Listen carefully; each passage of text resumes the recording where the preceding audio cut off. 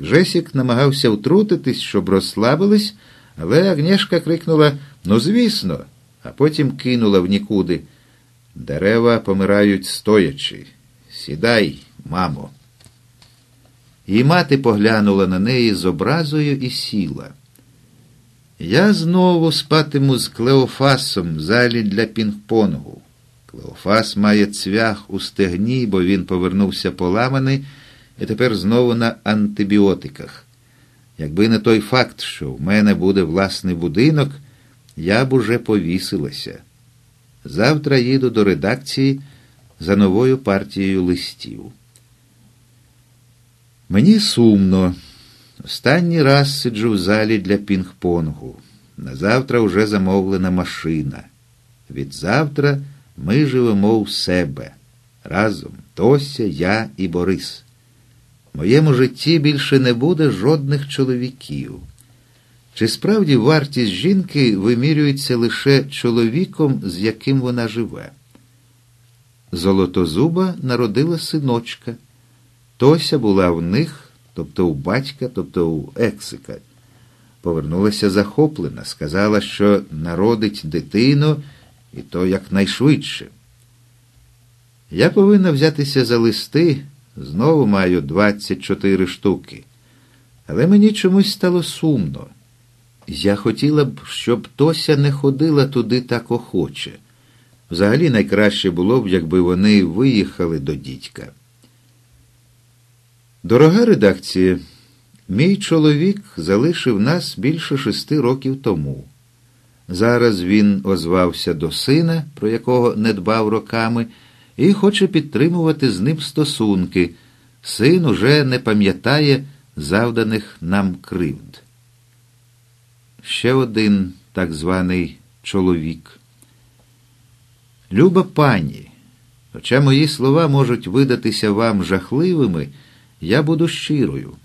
Це чудово, що ваш син, хоча й по стількох роках, віднайшов батька.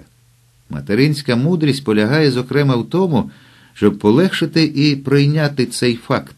Син потребує батька, і в тому, щоб полегшити син. Так, дуже прошу. Але я воліла б, аби Йоля не була з Тосею настільки мила. Врешті-решт, це не її дитина, у неї є своя. Ой, знову блакитний. Може, його дружина, позбавлена залишків самосвідомості, таки повернулась? Шановна пані, я отримав вашу жовчну заяву на тему чоловіків. Розмірковую над тим, чи не перебуваєте ви в такій самій ситуації, як я, бо лише це виправдало б таке несприйняття чоловіків, схильність до узагальнення. Що діється, чорт забирай? Я і несприйняття чоловіків? Тому що я щиро написала йому про причини? О, ні. Саме прийшов Гжесік і запитав, чи не розслабилась би я за бриджем, бо нас четверо. Таки розслаблюся, листи не заєць, не втечуть. Це наш останній вечір. Джесік шукає карти, я намагаюсь довідатись, як сьогодні спимо. Агнєшка просить малолітню племінницю, щоб та забрала з вітальні сумку, щоб була доброю і занесла її до своєї кімнати, а тоді повернулась, бо треба сказати їй кілька слів. Моя малолітня племінниця не досить то, що малолітня, то ще й має власні погляди. Я не втручаюсь, завжди приємніше дивитися збоку, як інші мучаться з дітьми. Крім поглядів, вона ще має нестримний язик, джерело моєї невпинної радості і подругу, якої уникає. Оскільки вона вкотре повернулась до неї задом, та викликала її на серйозну розмову. Їхній собака лежав, розвалившись у проході, не знаю, чи ви зауважили таку закономірність. Чим більший пес, тим більше він любить займати прохід. Їхній кіт дряпав шибу, щоб його випустили. Цього ніхто не бачив, а я була гостем. Їхній син радісно бігав по вітальні, копаючи м'яча, і не звертав уваги на зауваження. На кухні занадто голосно грало їхнє радіо, Така собі звичайна родинна замальовка. Поміж гарчанням собаки на м'яч, стукотом синових ніжок, голосом добродія з радіо Z, який голосно вихваляв новий склад килимів, проханням моєї сестри, щоб хтось врешті-решт відчинив котові, я почула дещицю серйозної розмови. А саме, щоб моя малолітня племінниця все ж не ставилася до своєї подруги так легковажно, щоб уявила собі, попри все, що означає бути на її місці, щоб вділила їй краплю сердечності та доброзичливості, а ще щоб була толерантною, чемно відповідала на запитання, спробувала зав'язати контакт, тому що люди різні. Той, хто здається не надто привабливим, може бути чудовим. Тощо, тощо. Дуже влучні розміркування. Малолітня племінниця намагалася докинути, що вона не мусить дружити з усіма, і що та подруга все одно нічого не слухає, і що вона не хоче, не може, не буде. Врешті-решт собака рознервувався і зловив м'яча зубами. Їхній син почав кричати і домагатися негайного втручання у справу можливого розшматування м'яча. Я відчинила котові. Радіо волало Я жінка. Моя сестра продовжувала влучні розмірковування. Непокірна малолітня племінниця пообіцяла, що змінить своє ставлення, і на цьому засідання закрилось. Наостанок дівчинка все ж додала ви нічого не розумієте. Тут уже вирішив втрутитись Гжесік, запитавши, чого ми не розуміємо. Не знаю, навіщо він зарахував і мене. Я все розуміла. А малолітня запитує пам'ятаєте, як у мене був бронхіт? Ми пам'ятали. А ви пам'ятаєте, що я тиждень не ходила до школи? Це ми також пам'ятали, і з самого ранку музика на повну котушку. Малолітня потягнулася за яблуком. Помий руки, сказав їй батько. Я з нею не витримаю, оголосила вона і відкусила яблуко. А що трапилось, зацікавилась її мати? Вона жахлива. Ніхто не може бути жахливим, зробила педагогічну спробу її мати. Розкажи нам про це, запропонував її батько, котрий заперечує, що дивиться американські психологічні фільми. Отож, малолітня виклала ноги на стіл. Через тиждень я прийшла до школи, пам'ятаєте? Ми пам'ятали, зітхнули з полегшенням. Тоді, звісно. А вона питає мене, чому мене тиждень не було в школі. То я їй кажу, що хворіла. А вона питає мене, чим я займалась. То я їй кажу, що хворіла. А в понеділок хворіла, а в вівторок лежала і читала, а в середу лежала і дивилась телевізор. Я бачила, що вони отот хочуть перервати її розповідь і наказати переходити до суті, але стримувались. А вона питає мене, а в четвер також лежала. А що ти робила на вихідні? Отож я й сказала їй, що в суботу, щойно пішли останні гості, батька відвезли до витверезника, я прибрала розбиті шиби, здала пляшки, за ті гроші поїхала до Варшави. Їхні обличчя раптово поблідли. Я не здивувалась. І вкололась, спала у тітки, бо дім згорів, а ніхто цього не помітив. Тепер обличчя моєї двоюрідної сестри залилося рум'янцем, але чуйний чоловік схопив її за руку і незвично спокійним голосом запитав А вона що на це? Ну, власне, сказала малолітня племінниця. І тоді вона запитала, а що ти робила в неділю? Ми замовкли. Малолітня поклала огризок на стіл і, тягнучи сумку по підлозі, подалася до своєї кімнати. Ми невпевнено перезирнулись. Я була вражена. Малолітня зачинила за собою двері. І тоді мій швагро заридав. Я поглянула на сестру, вона теж душилась від сміху. Жесік підвівся і знову почав шукати карти. Агнєшка підвелася і запитала, хто випустив Клеофаса, котрий повинен був сидіти вдома. Гжесік із чарівною посмішкою сказав, хай Клеофас розслабиться. Як добре, що від завтра я матиму своє власне життя і не муситиму перейматись малолітніми племінницями, котами, собаками та родинним життям своєї двоюрідної сестри. О першій ночі я сідаю за комп'ютер і пишу до Блакитного. Шановний пане, я здивована, що ви намагаєтесь листуватись зі мною на мою тему. Моя робота полягає на тому, щоб надавати професійну допомогу та інформацію іншим людям. Бачу, що ви починаєте розважатися за мій рахунок. Приписування іншому рис не до кінця усвідомлених у собі самому у психології називається перенесенням. Гадаю, це саме ви плекаєте несприйняття чоловіків, що ані трохи не дивує, оскільки один із них зміг закохати у себе вашу дружину. Хоча я ніколи не ділюся інформацією про себе, цього разу відступлю від свого принципу і зізнаюся вам, що я ніколи не мала дружини, і дружині ніколи не доводилося мене зраджувати. Тому я і не плекаю щодо чоловіків, на відміну від вас, жодних почуттів, оскільки вони не можуть бути моїми суперниками. З повагою від імені редакції. Що за безсоромний чолов'яга? Уже завтра вперше в житті у власному будинку. Ох, яким же прекрасним є життя! Жодних клопотів та клеофасів, жодних малолітніх племінниць та зграйки їхніх подруг, жодного розслабляння, шлункових проблем, домашнього футболу, бриджу до третьої, спокій, тиша, нове життя.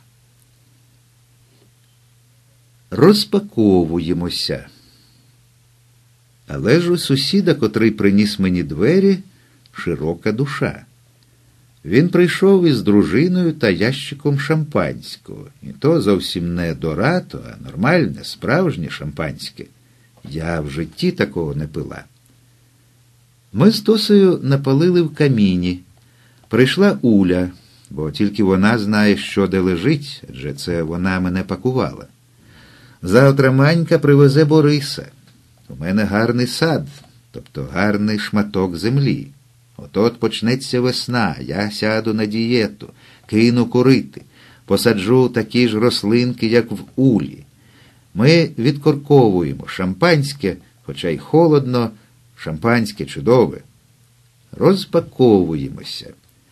У першій коробці словник, той, що із чаїнками всередині.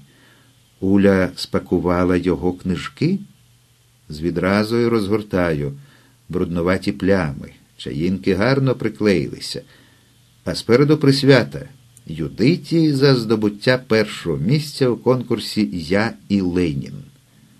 От лайно, це моя власна книжка із соціалістичного дитинства. Огидні плями у моїй книжці. Ненавиджу свого собаку. Вночі встаю і докидаю дров, шукаю спальник та другу ковдру одягаю на піжаму спортивний костюм. О Боже, ні, тільки не так, як з тим Йолиним. Все повинно бути абсолютно інакше. Відзавтра не курю. Ну, я просто дуже рада. Рада, але мені трохи сумно. Тося у школі, а я намагаюся під'єднати комп'ютер, але не виходить. Я навіть працювати не можу. Ніхто мені не запропонує розслабитись. Машина не завелась, зате я заводжусь і закурюю. Не маю я ніякої волі, не кажучи про сильну, не маю телефону. Я така самотня і звідси усюди далеко. Вхідні двері не зачиняються, бо вони скособочились. На ніч я підкладаю граблі під двері. Чекала майстра від скособочення, але він не прийшов. Зрозуміло, мужик. Завтра я мушу бути в редакції, але прийде Борис і попильнує. Я не можу задзвонити до мами і тата. Добре, що є Уля за парканом. Ввечері приїхала Манька, і Борис ошалів, одразу знайшов дірку під воротами і втік. Я впіймала його біля залізниці, мало не зламала ногу в ямі біля колії. Чи добра це була ідея поселитися тут? Манька принесла мені коробочку, перев'язану гарненьким червоним бантиком, подарунок для нового дому. Я запитала, чи це щось їстівне. Вдома нічого немає, адже ця клята машина не завелась. Це була недобра ідея оселитися тут, але про це ніхто не довідається. Якось дам собі раду. Відкриваю коробочку, а там котик, як живий, маленький, як половина моєї долоні. Ну, ще мені кота бракувало. Тося збожеволіє від щастя. Котик одразу ж присідає на кухні і сцить на підлогу, і пищить. Борис підходить і лиже його. Тося повертається зі школи і німіє від щастя. Чудовий симпатичний котик. Котик Мицик почувається прекрасно. За декілька днів він трохи підріс. Тося годує його молоком зі шприца, попри те, що він уже сам наминає їдло з банки. Він триколірний, симпатяга. Уля допомогла мені до кінця розпакувати речі. Чудово. У мене дерев'яна стеля, я почуваюся як удома. Це була найкраща ідея мого життя. Мицик чіпляється до Бориса, ганяють по всьому дому. Мицик сховався під шафкою в кухні і там застряг. Борис просто з болота стрибає на крісло. Я не могла вийняти Мицика, тому мусила кликати Кшися з улею на допомогу. Коли ми відсували шафку, впало шість тарілок і чашок. Побилися чотири. Може, це на щастя. Ми випили ще одну пляшку шампанського. Ввечері приїхала Агнєшка. Вона вибила для мене телефон. Мені виділять спеціальну лінію. Я матиму свій власний телефончик і зможу годинами балакати з усіма, хто далеко від мене. І тоді точно задзвонять мама і тато і щось мені порадять. Я не почуватимусь настільки самотньою. Господи, я бачу, ти відмовився від сумної статистики, принаймні, коли йдеться про мою особу. Я підклала граблі під двері і поїхала до редакції. Це взагалі-то недалеко, менше години. Їхати дуже приємно. Можна почитати і взагалі я звикаю. В редакції мене покликав головний редактор.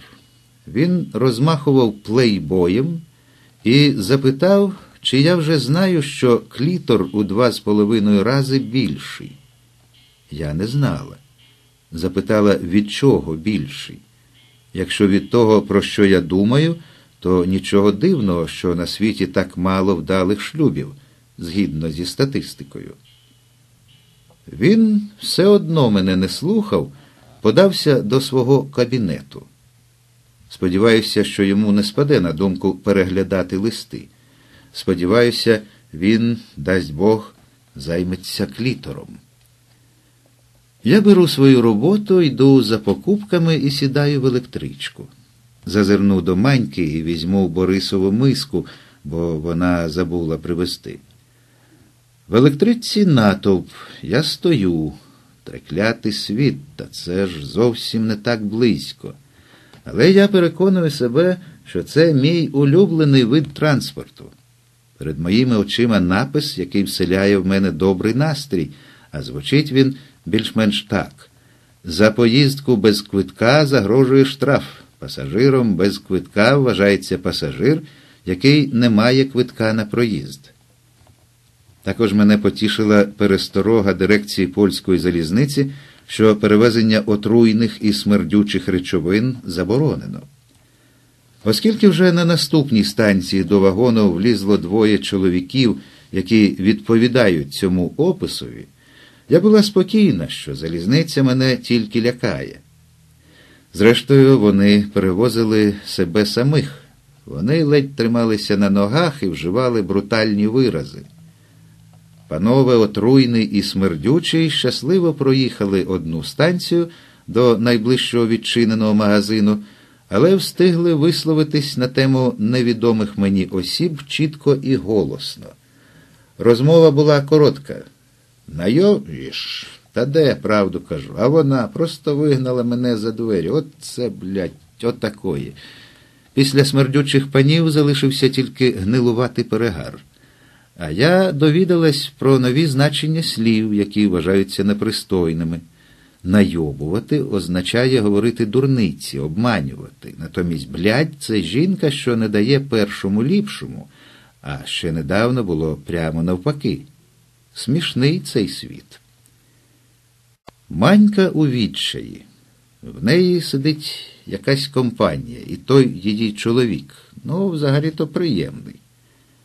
Дитя приблизно шести років поглядає з-під лоба на дорослих і пірнає під стіл, тягне під столом за хвіст, кота. Я тільки хочу взяти Борисову миску, але манька наказує мені сісти, а якщо вона наказує, то охо-хо. Розумне дитя нарешті подряпане і здіймає крик. Мама виймає дитя з під столу і суворо дивиться на маньку. Вона могла би отак дивитися собі до кінця світу, бо манька дивилась на чоловіка. Втім, він також очей від неї не відводив. Ну що ж, наступна з нас втрачена для світу. А потім сталася трагедія. Дитя вирвало з маминих рук склянку з криком Я хочу коли, і поки мама встигла щонебудь зробити, воно випило коктейль, потім обплювало тим самим коктейлем маму, себе і щедро заставлений стіл. Потім було забране до ванної з метою промивання та полоскання личка, при цьому воно бурхливо протестувало, а потім вийшло з ванної і запитало, чи тут мешкала та сова, що здохла. Манька прокинулася зі ступору. Всі завмерли і поглянули на мене. Йшлося про мою сову, яка була в зоопарку. Я зблідла. Кретинко, крикнула мені манька, ідіотко, краще було б сказати, що вона відійшла у вічність, і з самого початку неможливо було врятувати. А ти бо того клятого дому не мала, кретинко, ідіотко, тому я мусила віддати її в зоопарк. Нічого б не вдалося. Ти забобонна кретинко. Гості завмерли, і дитя завмерло також. Я подумала, що існують межі через які не можна переступати. Я не почувалася кретинкою. Я бачила повні сліз очі маньки, якій не вдалося врятувати сову, але яка зробила щось значно, значно більше. Ні, я не образилась. Я повернулася додому останньою електричкою. Тося сиділа біля каміну з дочкою Улі і доїдала принесений улею суп. Мицик танцював посередині килима, зачіпаючи вазон. Я перенесла вазон на кухонне вікно.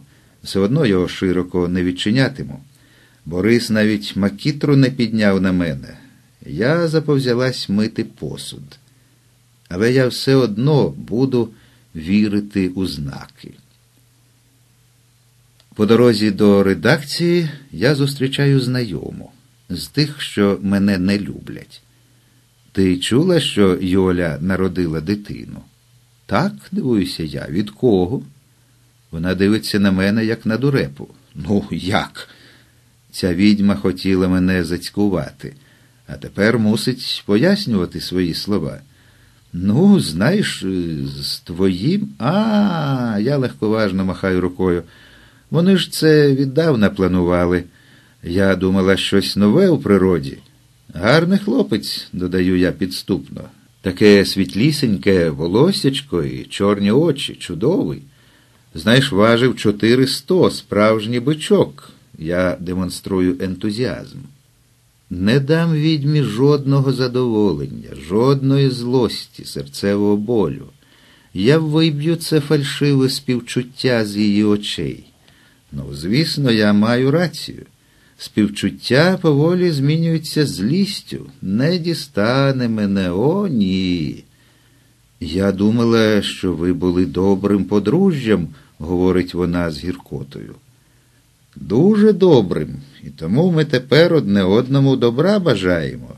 Я брешу їй просто в очі, а в моїй уяві постає Йоля вкрита віспою. Я посміхаюсь. Не думала, що ти так це перенесеш. У голосі знайомої, яка мене не любить, вчувається нотка розчарування. Не думала, що ти геть позбавлена почуттів. От вона, жіноча солідарність. Лишень подумати, зовсім недавно я так дивувалася з Маньки. Манька має таку роботу, що іноді працює з чоловіком, а іноді з жінкою. І каже, що з чоловіками якось іще можна домовитись, бо що робить жінка, яка ходить на роботу і перебуває там з 8 до 6 години, і хоче дбати про себе. Така жінка хитрує, як би вийти під час роботи, особливо якщо нічого не відбувається, до солярію або на педикюр. Якщо з нею на зміні працює чоловік, то все в порядку. Вона просто каже: я йду до солярію, буду за півгодини. Чоловік таких речей не розуміє, але поважає їх. Натомість жінка слово солярій розуміє, але взагалі цього не поважає. Ну, бо вона йде, а я ні. Вона має гроші на забаганки. Тож Манька застосовує такий метод крутиться, вертиться по лікарні, нікого крім неї і подруги немає. Я мушу йти по кров'янку, нарешті каже вона. У слові мушу міститься не бажання чи забаганка, а глибокий примус, тобто припущення мушу, бо не маю що їсти, і ще глибше припущення у мене грошей вистачає тільки на кров'янку. Вона порятує життя мені та моїй родині. Натомість третє дно поєднання слів мушу і кров'янка означає, знаєш, якби я йшла на закупи, то це дещо інше, але ж я перебуваю в настільки важкій фінансовій ситуації, що ти, мабуть, не маєш нічого проти. Слово закупи могло б викликати небажані асоціації, наприклад, то ти під кінець місяця ще маєш бабки, а з цього випливає простий висновок. Якщо ти маєш гроші, то мусиш знайти час найкраще після роботи. Отже, якщо Манька мусить іти по кров'янку, то її співробітниця, ясна річ, дивиться на неї співчутливо і каже Йди. Манька сідає у свою нову машину і мчить до солярію. Іноді вона повертається червона, бо в солярії, як відомо, іноді засмагаєш, а іноді спочатку червонієш невідомо чому. Я запитую Маньку, чи та жінка не орієнтується, що ти повертаєшся із солярію. Це ж видно неозброєним оком. Е, каже Манька. Коли в мене була стара машина, то я казала, що моя сучка заглохла, і я мусила її штовхати, і тому я така червона. Розумаха Манька. Навіть якщо вона вбрана в добрі лахи, які щойно викликали заздрість у співробітниці, то тепер думка про те, що вона мусила штовхати машину в цих лахах, викликає задоволення, акуратно закамуфльоване співчутливим ох, який жах. І ця співробітниця уявляє собі, як пітніє жінка, що штовхає машину, бо ж навіть найкращий найновіший дезодорант, котрий захищає 24 години, випускаючи щоразу мікрогранули, які окислюються, і завдяки цьому, і так далі, не готовий до можливого штовхання машини. А крім того, ця співробітниця має кращу машину, яку не треба штовхати. І проблема лахів уже здається несуттєвою, особливо на тлі кров'янки. Так було колись. Тепер Манька має нову машину, яка не псується, а до солярію вона їздить. Я питаю, а що ти тепер кажеш, коли повертаєшся червона, як буряк? Ох, Манька сяє. Я кажу, що в мене припливи, що клімакс мене спіткав. Знала б ти, як вона тепер мене любить, як співчуває мені, що так рано. Тож, може, я повинна зробити приємність моїй знайомій, яка мене не любить, розплакатися, почати нарікати, скаржитися. Вона почулася б краще, що це не її чоловік зробив Йолі дитинку. Дурна я. Тепер замість співчутливої співробітниці я маю ворога. Треба було мені довше пожити у маньки, більше б навчилась. Усі вони однакові. У редакції головний кричить Пані Юдито, зайдіть на хвилинку.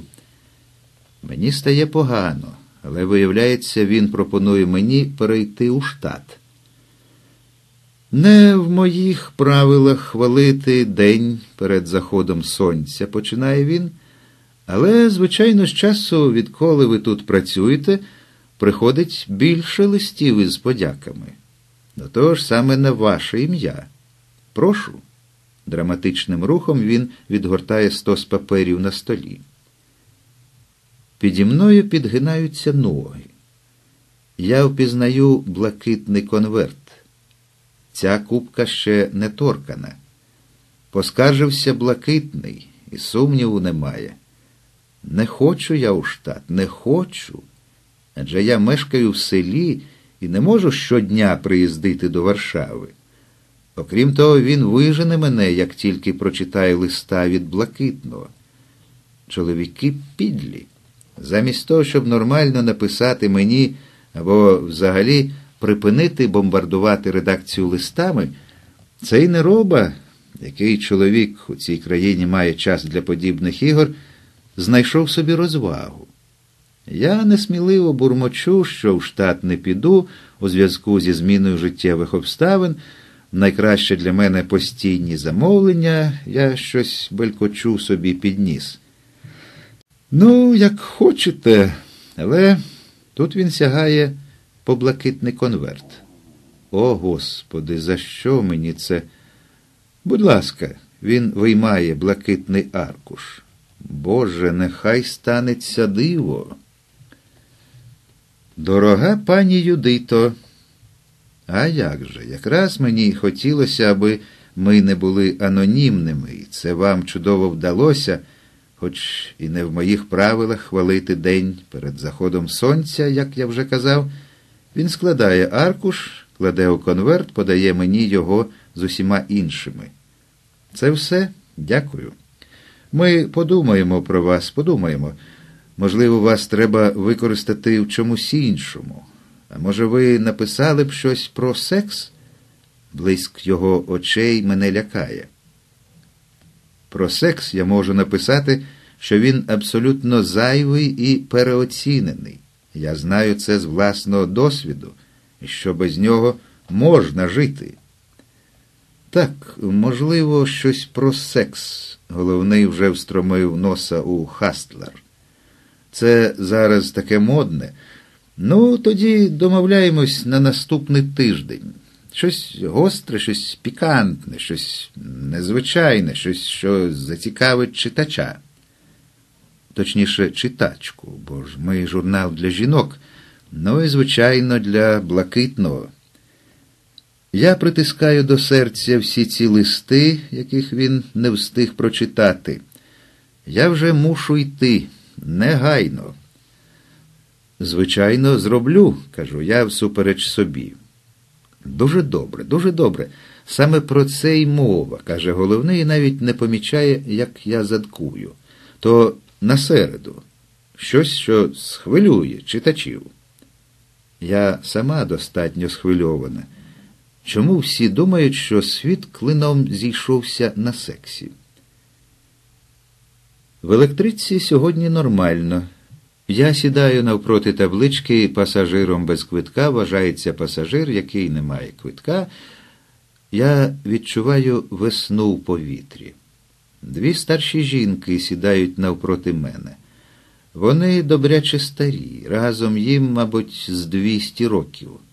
капелюшок, шапочка з хутром, рукавички, оздоблені мереживом. Одна нахиляється до другої, але оскільки обидві вони глухі, як тетері, я фіксую кожне слово. А ти знаєш, що вона до перукаря ходить? Вона не тільки стрижеться, розумієш? А що? Вона фарбується. Капелюшок обурений. Так, так, шапочка хитається в обидва боки. З нею щось не так відбувається з минулого року. Долоня в рукавиці зависає в повітрі. Вона не тільки фарбується, а ще й підводить очі. Та що ти кажеш? Так, тріумф у голосі капелюшка заглушує навіть стукіт електрички. Я сама бачила. А де?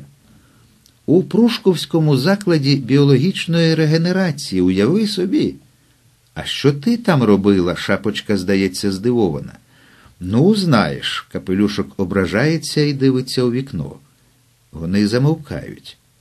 Вона хною фарбується, капелюшок за якусь мить відновлює розмову. У цьому віці, адже вона на два або три роки молодша від тебе. У шапочки писклявий голос. А вже ж, у цьому віці їй потрібен чоловік, так не годиться. Вони разом подорожують. Мені зрозуміли обурення в голосі. Подорож із чоловіком, навіть сторічним, штука страшна, і гідна покарання, і непрощенна. У цьому році вони були на Тенерифе.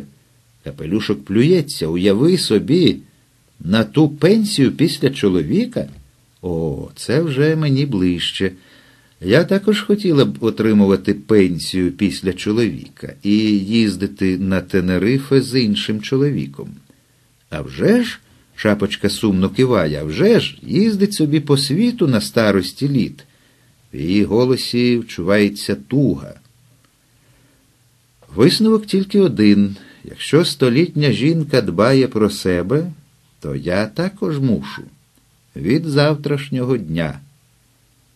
Капелюшок і шапочка змовкають, я відкриваю блакитний конверт. Дорога пані Юдито, я дуже не хочу виявляти нелюб'язність, але ваша необізнаність сягнула вершин. Це не Юнг, а Ерика Джонг. Перший був чоловіком, а друга жінкою. Книжка, на яку ви необачно посилаєтесь, зовсім, ну, зовсім про щось інше. Не може бути.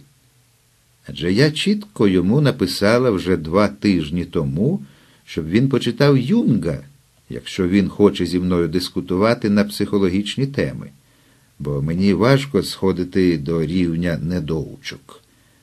Але ж Уля казала мені, що Юнг оце провал, чорти забирай. З того, як ви мене постійно ображаєте, я роблю висновок, що маю справу з феміністкою, нереалізованою жінкою, яка завжди ходить у штанях, яка тільки й може заздрити жіночності жіночних жінок, а сама не надає ваги ні своїм поглядам, ні своєму вигляду. Чи я не маю рації? О, це вже ти передав кутімеду. Я тебе знищу, блакитний. Я застаю широко відчинені двері. Холодка на воротах замкнена. Ще з вулиці видно немитий посуд на столі. Борис шаленіє біля плоту. Граблі лежать під дверима. Клятий пес. Він стрибав на ці двері, поки вони не відчинились. Невже я тут насправді хотіла жити? Я низько кланяюсь сусідці, старшій жінці, яка тут у селі розводить курей. Вона зупиняє мене біля воріт і питає, чи не треба мені яєць. Звісно, треба. Видно, я їй сподобалась, бо досі вона мені нічого не пропонувала. Тільки постійним клієнтам або ж кури погано неслися. Це означає, що я вже місцева. Мицик виявився кицькою. Манька, звичайно, від початку про це знала. Тільки кицьки бувають триколірними. Вона спить у мене на голові. Я сплю в піжамі, спортивному костюмі, накрившись ковдрою, спальником і периною. Але незабаром буде літо. Від учора я маю телефон, єдиний на все село. Агнєшка просто геній. Тепер уже й холод не страшний. Зранку вишу на телефоні. Дзвонила моя мама, щоб сказати, що ціпеніє від одної думки про те, як мені холодно. Дзвонив мій тато, щоб сказати, що в моїй хаті, певно, дубак, і він, якби я тільки попросила його поради, запропонував би, але тепер і говорити нема про що. Знову дзвонила моя мама, щоб відмовитися від своїх слів про те, що вона ціпеніє від одної думки. Мені, певно, чудово і радісно, але вона ціпеніє від одної думки, як хтось із тою школою, адже це так далеко. Дзвонив мій тато і запитав, чи легко Тосі ходити до школи, бо це ж далеко, і що я, якби попросила його поради, то він би порадив мені, ну але тепер нема про що говорити. Дзвонила мама, щоб вийти з того заціпеніння, коли вона думає про Тосю, бо свіже повітря на нас, певно, добре вплине. Але чи має Тося теплу куртку? Дзвонив тато і запитав, чи має хоча б Тося теплі чоботи, бо ж холодно, як на полюсі, а вона оце пішки, і він, якби я попросила його поради, і так далі. Дзвонили зі школи, що Тося до школи не прийшла. Тося з Улиною дочкою вирішили, що сьогодні надто холодно і задалеко до школи. День вони провели, гуляючи по лісі, бо і я, і Уля сиділи вдома. Тепер вона лежить перед телевізором із нежитем. Улина Агата також має температуру. Уля нічого не знає про те, що дівчата не були в школі. Чи мушу я їй про це розповісти? Уля прибігла до мене за спірином, бо в мене немає. Не знаю, чи мушу я тобі це казати, але наші дівчатка не були в школі, каже вона з порогу. Я запропонувала Агаті, що якщо вона вже зовсім не може йти до школи, то вже нехай краще скаже про це. Хай тоді краще залишиться вдома. Скажи ти саме Тосі, моя тобі порада. Тоді ми хоч якось їх триматимемо під контролем. Уля дотримується принципу якщо ти бачиш, що твої діти і так щось зроблять, то прийми це. Увечері Тося каже, що їде до подружки робити уроки. Нікуди ти не поїдеш, ти застуджена, кажу їй. Поб'єшся об заклад, каже моя неслухняна дочка і взуває чоботи. Згода їдь, кричу я, пам'ятаючи про улені вказівки. Тося дивиться на мене з-під лоба. Я не питаю, чи ти згодна, я тебе просто інформую. Цікаво, чому улені дочки так не розмовляють з нею. Я мушу кудись терміново поїхати, відпочити.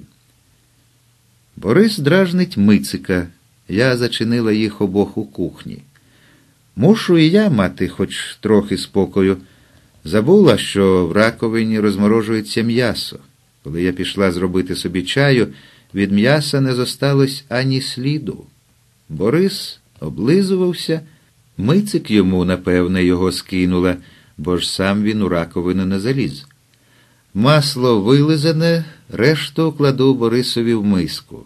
Майонез перевернутий, стільниця замащена, майонезні сліди мицика на обрусі. Упрання. Чи ж я хотіла мати кота?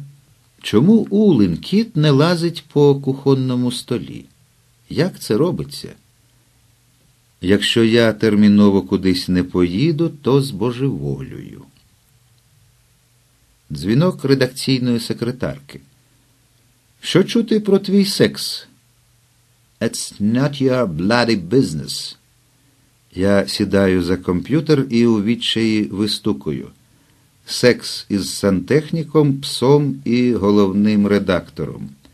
Ну, принаймні, початок я вже маю. А потім пишу листа до блакитного. Сучий син, але начитаний. Це так рідко трапляється серед чоловіків. Я йому дам феміністку. Краще хай мене не ображає. Я вирішила. Не можна так сильно нехтувати собою. Звичайно, я ходжу в джинсах, бо так зручніше. Але я поглянула у дзеркало.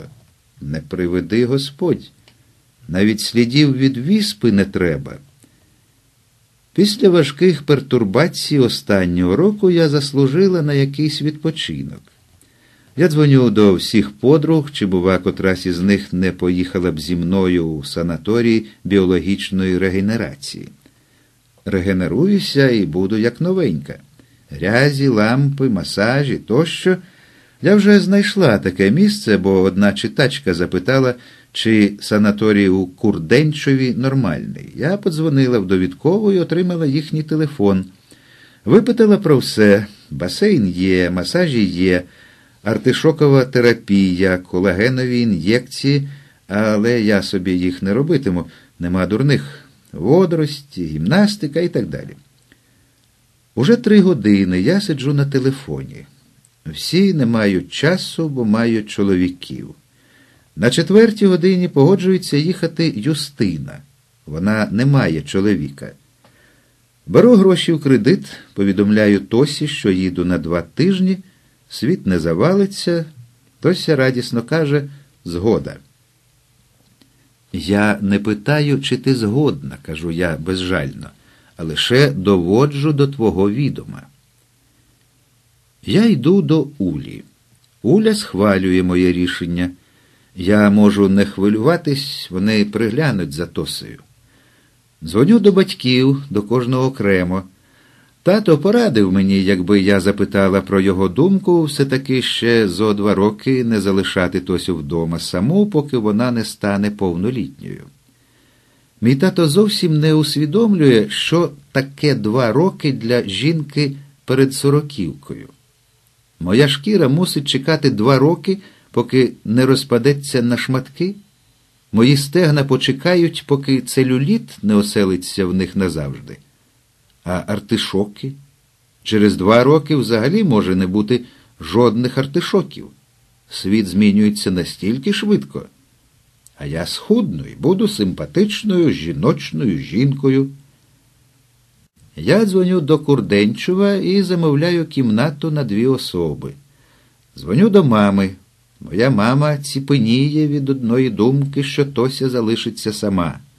Я ціпенію від однієї думки, що ціпеніє моя мама. Тому просто мушу їхати. Центр біологічної регенерації у Курденчеві мав виправдати наші очікування. Ми виїхали в похмурий березневий ранок просто з центрального вокзалу. О пів на п'яту, темно, наркомани протирали червоні оченята, пияки потирали руки від холоду, каси були відкриті, бомжі спали на лавках і під стінами. Аромат учорашніх снів і залежності снував над перонами і в залах очікування. Він мав запах прокислої сечі. Прибув потяг з полученням Варшава-Демблін. Він також смердів. Його явно втомив учорашній день. Разом із нами в купе сіли дві блондинки, фарбовані у стилі пізніх сімдесятих. Блондинки цілу дорогу голосно вчили конституційне право. Юстина намагалася заснути, я ж була занадто схвильована новим важливим етапом свого життя. Я повернуся іншою, а потім піду собі на грязі, побий мене грім, і жоден блакитний з мене більше не сміятиметься. На вокзалі в Курденчеві сніг з болотом. Ми беремо таксі до центру регенерації. Таксист посміхається, і ми ще не знаємо, що багатозначно. Вілла. Басейну немає. Кімнати є, але на відстані двох кілометрів. Зате солярій саме тут. але масаж там. Гімнастична зала тут, а косметична там. Оті два кілометри в бік, але зате під гірку. Візит до головної лікарки, яка нам порадить, допоможе, заопікується нами, все ніяк не закінчиться. Вона виписує необхідні для нашого здоров'я процедури, звичайно ж, за певний грошовий еквівалент, і він значно вищий, аніж у прейскуранті. Виявляється, наша шкіра потребує антиоксидантів, вітаміну Н, артишокової терапії, хоча з останньою ми наразі можемо почекати. Але вона б не радила, бо потім, як роки минуть, ви сильно пожалкуєте. Ми рішуче відмовляємося від колагену, але погоджуємося на водорості. Нам необхідна киснева терапія. Судини в катастрофічному стані. Антиоксидантні маски перетворять нас на нових жінок, але все це без вітаміну Н і артишоків дасть лише тимчасовий ефект. А ми ж не про таке мріяли. Масаж обов'язковий, і ми погоджуємося на масаж. Ми, звісно, хотіли собі допомогти, але не знали, що нам необхідна реанімація, що з нас, так би мовити, пісок сиплеться. Але вже через тиждень, чесно, вами навіть може зацікавитися якийсь чоловік, бо траплялося чимало випадків, коли клієнтки починали нове життя після біологічної регенерації в нашому центрі. Отже, нас у нападі люб'язності завозять до вілли за два кілометри. Поки ми встигаємо помітити, що будинок не опалюється, виявляється, що швидко-швидко, бо масажист уже чекає. Побачивши нас, косметичка блідне. Абсолютно немає місця для ще двох осіб перед самим обідом і сороківкою. Ми перед сороківкою, вона перед обідом. Домовляється з масажистом. Якби масажист одразу зробив масаж, тоді вона б одразу ж намастила другу. Тому масажист масажує спочатку мене, а потім Юстину. Косметичка накладає водорості спочатку на Юстину, потім на мене. Шелестить тоненька захисна плівка у косметичній кімнаті 14 градусів, водорості повинні бути зеленими, а наші тіла крізь них просвічуються. Щось не в порядку з цими водоростями. Холодно, бо піч зіпсована, але хтось десь щось і ввечері вже точно буде тепло.